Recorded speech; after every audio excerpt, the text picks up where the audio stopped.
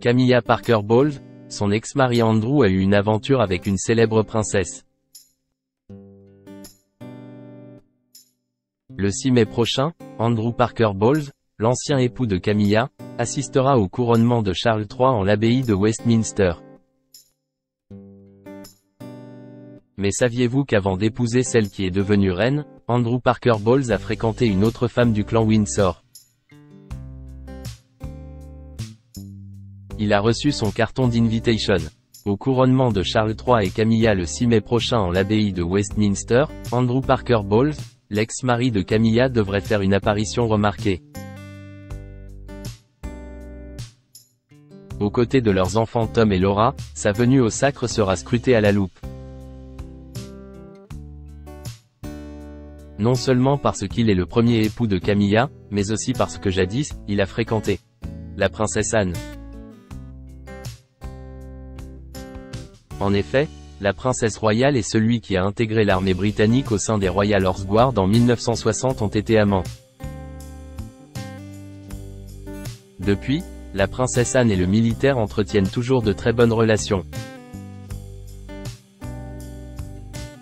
Ils apparaissent ainsi régulièrement ensemble aux célèbres courses hippiques des Ascot en Angleterre. Andrew Parker Bowles est également l'une des parrains de Zara Phillips, la fille de la princesse Anne. Selon l'auteur Bedell Smith dans son livre Prince Charles, la romance des deux amis aurait été entravée par la foi catholique des Andrew Parker Bowles. Elle excluait des offices la possibilité d'un mariage avec un membre du clan Windsor, qui est anglican. Des Windsor et des divorces. Le prince Charles et Camilla se fréquentent sensiblement au même moment que la princesse Anne et Andrew Parker Bowles, dans les années 70. Quand celui, qui est alors prince de Galles, part pour son service militaire, Camilla, persuadée qu'elle ne sera jamais reine, tombe amoureuse de elle officier. Il l'épouse le 4 juillet 1973. Quelques mois plus tard, le 14 novembre 1973, la princesse Anne dit oui devant Dieu au capitaine Mark Phillips en l'abbaye de Westminster.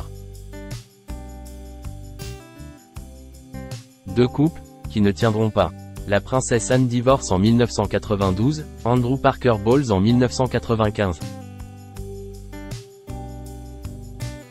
Une décennie plus tard, les deux amis sont liés par une nouvelle alliance, le mariage de Charles III et de la reine consort. Les rivales devenant ainsi belles-sœurs.